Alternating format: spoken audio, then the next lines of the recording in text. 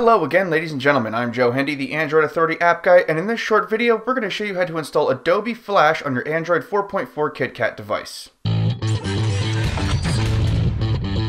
Step 1. On your KitKat device, you'll need to allow for the installation of APKs from unknown sources. To do that, enter your settings, navigate to security, and then tick the box that says unknown sources. This will allow you to sideload applications. Step 2. In the Google Play Store, you'll need to install Dolphin Browser.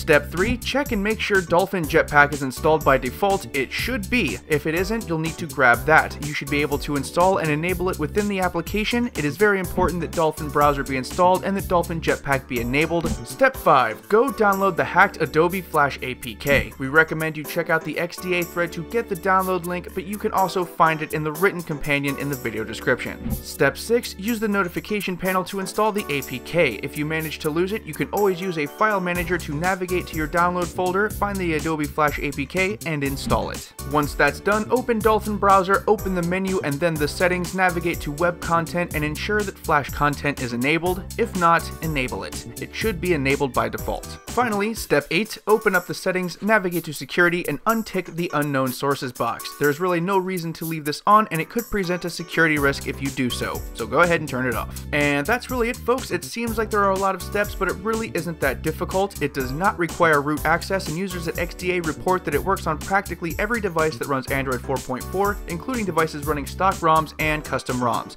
The only downside is you have to use Dolphin Browser for now, but eventually that should be fixed. Once again, I'm Joe Hindy, the Android Authority app guy. Don't forget to subscribe to our YouTube channel and check out the social media links below. If you like this video, give it a thumbs up and let us know we're doing a good job. Also, if you're hanging out for a minute, we have a couple of awesome videos for you to watch right over there. Finally, don't forget to check out the written companion in the video description for all the download links. Thank you again for watching, and have a wonderful day.